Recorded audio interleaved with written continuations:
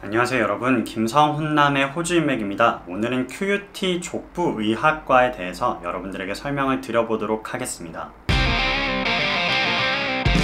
네, 족부의학 관련 영상들 예전에 올린 것들 보신 분들도 계실 텐데요. 혹시 보지 않으신 분들은 족부의학 관련 뉴캐슬 대학교 재학생의 인터뷰 영상은 꼭 보시고 오기를 추천을 드립니다. 네, 족부의학은 발과 하반신을 다루는 의학인데요 한국에서는 족부의학이라는 분야가 자체적으로 독립적으로 깊게 세분화 전문화되어 있진 않지만 호주라는 나라에서는 족부 의학 분야가 독립적으로 굉장히 세분화되어 있고 전문화되어 있습니다. 때문에 호주에서는 의대 다음으로 물리치료학과나 족부 의학과, 치대와 같은 학부들이 굉장히 높은 커트라인을 유지하고 있고 또 인기도 많이 있는 편입니다. 그만큼 족부 의학과에 입학하는 것도 결코 쉽지도 않고 또 졸업을 하는 것도 쉽지도 않기 때문에 정말 족부 의학 분야에 비전이 있거나 혹은 정말 족부의학을 재밌게 공부하고 열심히 공부할 수 있는 의지와 기본적인 바탕을 갖고 계신 분들이 생각해 보시고 또 지원하시기를 진심으로 추천을 드리고 싶고요.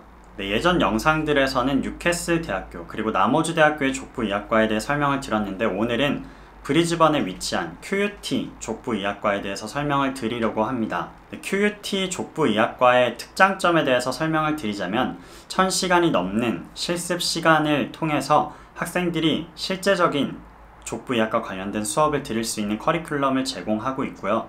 학교 내외에 있는 병원에서 실제 환자들을 대면하여 실습을 진행할 수 있기 때문에 폭넓은 경험을 할 수 있다는 장점도 있습니다. 네, 그리고 세계적인 수준의 의료시설을 갖추고 있기 때문에 족부의학을 공부하면서 다양한 어떤 편의 장비들이나 의료 장비들을 활용할 수 있는 법을 배울 수 있다는 것도 큰 장점으로 작용하고 있는데요. 네, 그럼 본격적으로 QUT 족부 의학과 입학하는 방법을 설명드릴게요. 크게 두 가지 과정을 설명드릴 텐데요. 먼저 4년 과정의 신입생으로 입학하는 방법과 2.5년 과정의 GE Graduate Entry, 즉 4년제 학위를 갖고 있을 때 입학해서 빠르게 졸업할 수 있는 두 가지 입학 방법을 설명드리도록 하겠습니다. 네, 먼저 4년 과정 신입생으로 입학하는 방법을 설명드릴게요. 총 학업 기간은 4년이고 입학 시기는 2월입니다. 네, 캠퍼스는 브리즈번 시티와 멀지 않은 켈빈 그로브 캠퍼스에 위치하고 있습니다. 학업 비용은 호주 달러로 41,600불, 한화로 환산했을 때 약 3,300만 원 정도의 수준이고요. 영어 점수는 IELTS 7.0, 이치 영역의 점수가 6.5점입니다. 학력 조건으로는 여러분들이 고등학교를 졸업하셨고 또 수능 성적이 어느 정도 수준 이상이면 지원이 가능하신데요. 자세한 사항은 더보기란에 있는 카톡으로 문의 주시면 설명드리도록 할게요. 선수 과목으로는 화학과 수학 2를 이수하셔야 한다는 조건도 있습니다. 네, 여러분들이 만약 지금 고등학교에 재학 중이거나 수능을 치신 분들이라면 이렇게 다이렉트로 신입생으로 입학하여 4년간 공부하는 과정을 생각해 보실 수 있고요. 만약 여러분들이 4년제 학사 학위를 갖고 계신다면 GE 과정, 2.5년의 단축 과정을 생각해 보실 수도 있습니다.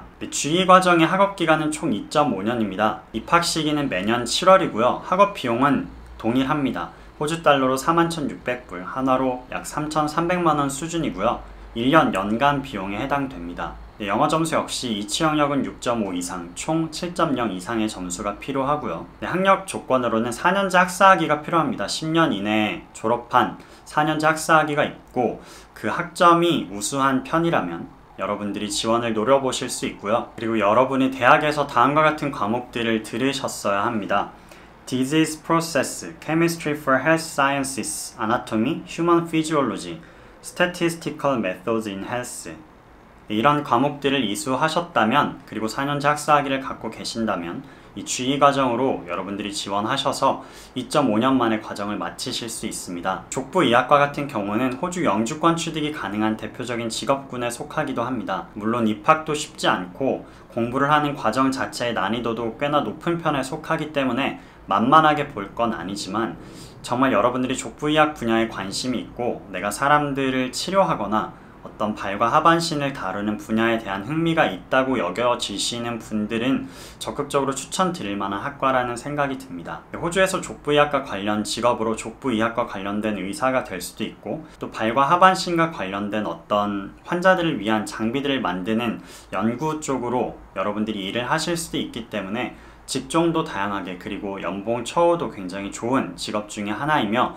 여러분들에게 많이 추천드릴 수 있는 직업이니 관심 있는 분들은 더보기란에 있는 카톡으로 저에게 문의 주시면 자세하게 또 설명을 드려보도록 하겠습니다. 지금까지 김성훈남의 호주 인맥이었고요. 저는 또 다음 영상으로 찾아뵙도록 하겠습니다. 감사합니다.